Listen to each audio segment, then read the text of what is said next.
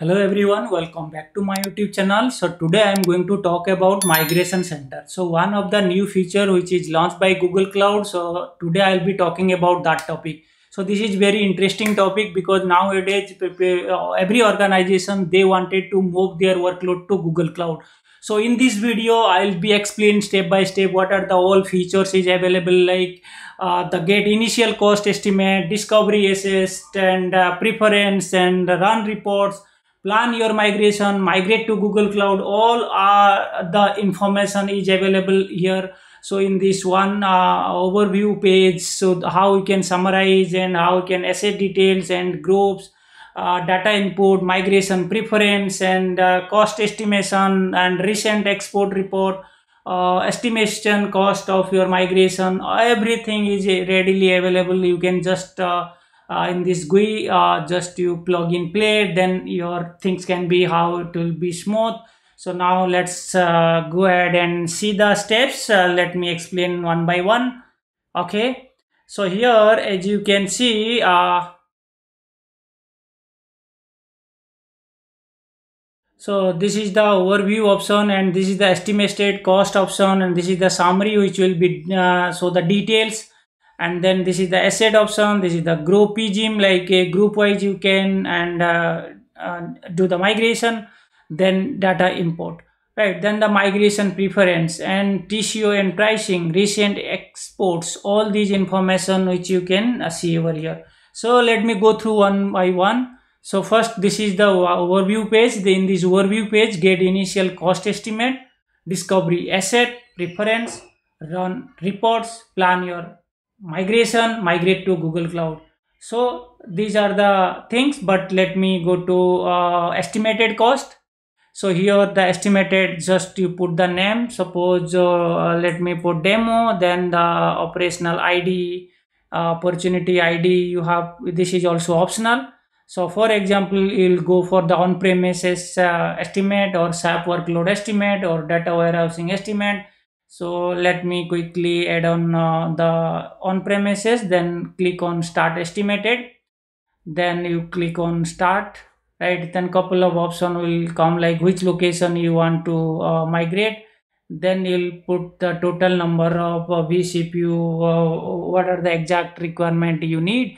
So based on that you details you put and then your workload license uh, part um, is required or not then migration timeline and pricing discount all these information will be displayed here. So if we'll go through the details definitely it will be help. So i'm just quickly go through the overview. Like if we'll click on add estimate then uh, uh, also it will add then it'll uh, start the estimate. So just click on start sap uh, location then add the deployment so this is the application suite what are the application uh, this is a SAP HANA or S4 HANA or uh, PO, BO, all these uh, kind of details. Then uh, this is the just the GUI option, just you based on your requirement, you uh, put that. So likewise, data warehousing also will do that. This is the this was the estimated cost part now move on to the summary part. So click on summary. You just uh, uh, set up your scanning. Uh, right. So just you click on uh, setup uh, select the environment then set up the uh, discovery client name and service account. Will create and add the service account and add for the re requirement value will put over there as for your requirement. Then it will be working right? So this was the summary part uh, so the view your strategy also just click on view strategy uh, the login with your uh, your uh, address i mean your uh, email id so this is your the strategy also. It will be uh, working for you to do that. So this is one. Then the uh, this is the summary part and the scanning also. Then the asset like what are the assets so just to uh, add uh, all these assets view with Stratozone uh, if you have uh, login with Stratozone so it will be helpful. Then click on group. So also it is integrated with Stratozone it will help you to group gym and then data input so input the data uh, like a full upload and scan the details then migrate migration preference like uh, if you create a migration preference then you click on that then put the name and select the location. Google cloud compute engine uh, the machine type will select then all these uh, licensing page you go and all these and whatnot. So based on this and three year committed discount you can take for your uh, cost saving. And this is the one of the uh, migration preference. Then i'll move on to the cost pricing so here as you can see create a report click on create report then put name some uh, for, let me put some name demo and then uh, you just uh, select the group. Whatever the group earlier you had created then based on that it will be moving ahead for the next process right?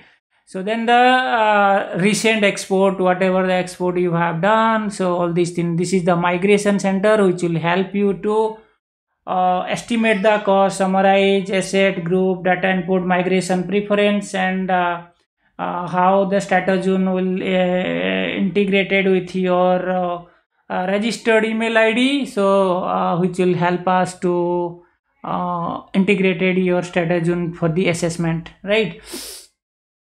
So these are the overview like analyze plan and migrate so first it will analyze then it will plan then migrate then what will do? Just click on uh, sign on in this Stratozone and Stratozone will, will be working for your uh, analyze the and discovery the uh, details of your underlying infrastructure uh, whatever you have then we'll plan for the cloud then it will start the migration.